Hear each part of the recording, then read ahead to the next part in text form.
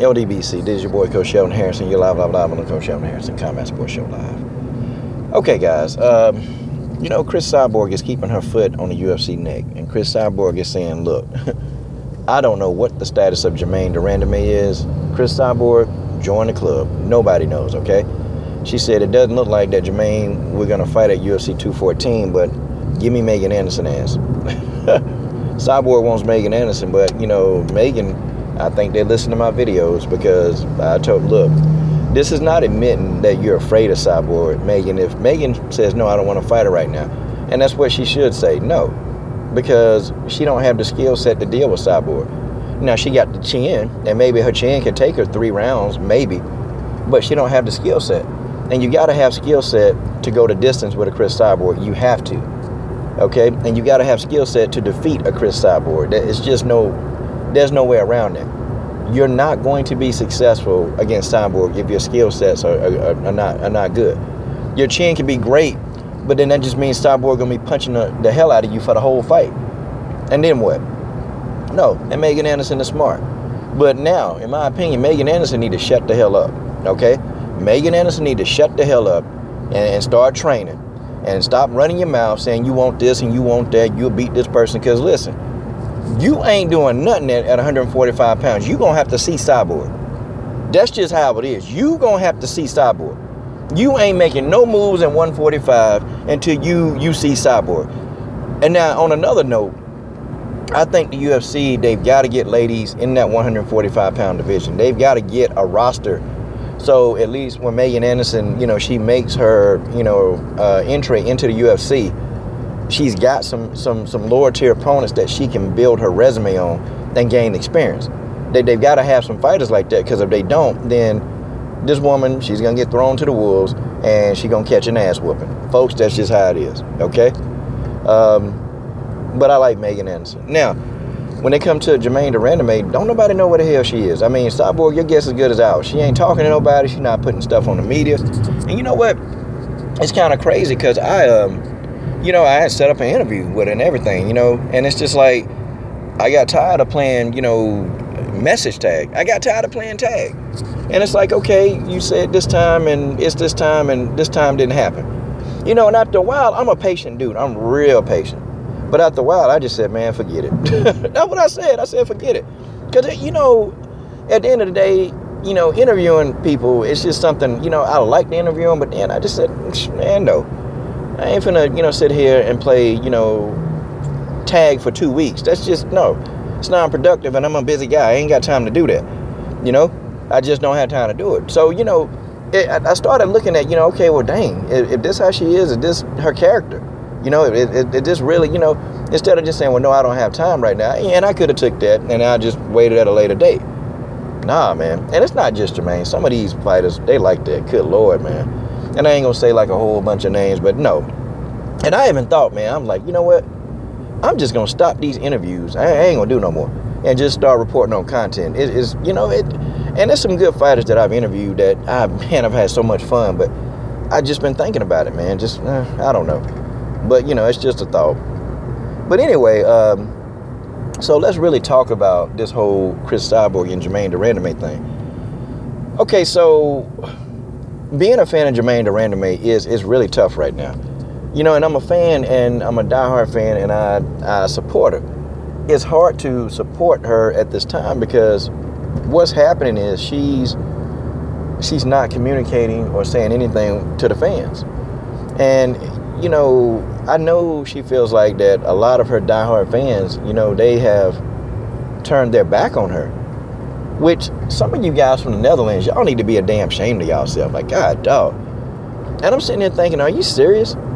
Are you guys really like that? Like, I'm not even from the Netherlands. I don't, I'm not, but I support Germaine. I support her, you know, and I like the fighter that she is.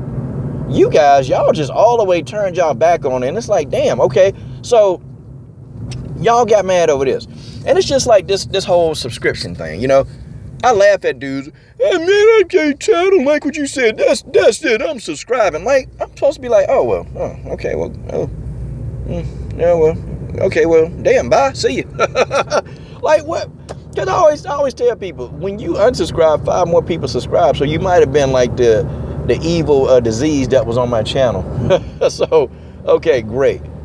But, you know, and I know Germaine may not look at it like that. And some of the comments that people was leaving on her social media, her Facebook and you know her Twitter, I mean, man, that it was it was getting out of hand. It was getting out of hand. Okay, it was getting very very out of hand. And Germaine read that stuff. She checked that man. it's like, damn, you know. So what the hell is the girl supposed to do, man? You know, she pissed off. Fans done turned her back on her. So, you know, I started trying to understand. Okay? But, you know, now it's been it's been since February. Here it is, April now. And I think that, you know, at least give your real fans who are there still supporting you and saying, hey, you know what, Germaine, it's okay. You know, those fans, us, you know, maybe give us a small status like, hey, I'm okay. Hey, you know, surgery went well. Or hey, we're just going to do rehab on the hand. Anything anything. Because I think the real true fans of Germaine de Randamie, we would have understood, okay, well, you know, you don't want to do an unnecessary surgery if it's not needed. If your hand specialist say no, okay, fine. You know what? They want you to rehab the hand for six months and it'll be back to normal. Okay, good. That's something I can get with because if you're a fighter, you're to have hand problems. Your hands are to hurt. I mean, that's just it. Your hands are going to hurt. I, I don't even know a fighter whose hands don't hurt sometimes. They just do. But that's the whole problem with Germaine Durand, man. It's like nobody knows. Nobody knows. I mean, do the UFC know? Probably. Why are they keeping it a secret? If this, if the UFC really knows what's going on, why are they keeping it a secret? You know, why are they not telling everybody? You know, why? You know, because we we want to know. But anyway, yeah. So Cyborg just said, okay, well, hell, if I can't get no piece of Germaine, get me Megan. Get me Megan. Get me Megan Anderson. You know, okay. I, you know that's good. Megan, if your promoter give you that fight, I'm telling you, it's gonna sound like a good deal. Yeah, I get a chance to take down Cris Cyborg. Me, the first woman to, to probably take her down. Don't buy, don't go into it. I'm telling you, don't believe that hype because so many of these girls, they they get a chance and they, and it, and you know opportunity look good. And sometimes the money will probably be a little bit more money than you used to seeing. It might be. But see, you think, we want to think about longevity, okay? We want longevity, okay? And the longevity really and truly is going to pay you the most money instead of this one time payday. And you don't know you can get a concussion, you can get your ass put on the wall of destruction. I mean, hell, you just don't know what'll happen. See, at least if you're going to be on the wall of destruction, hell, you make it damn hard for Cyborg to put you on that damn wall. And that comes with knowledge, okay? You got to have all the skill sets you can when you go face a cyborg. Don't get in there with limited skill set or, you know, just a heart. No, that ain't gonna work. Ask Leslie Smith what happened. Leslie Smith got heart. That's fine. But that flat-footed approach, it's not gonna work with Cris Cyborg. The style that defeats Cyborg, I made a video about this. What can defeat Cyborg? The person got to be agile, the person got to have heart. They can't they can't have any fear of Cris Cyborg. And I think Cyborg, she wins the fight before she steps in because everybody's afraid. So that person, you can't have fear. You got to have heart.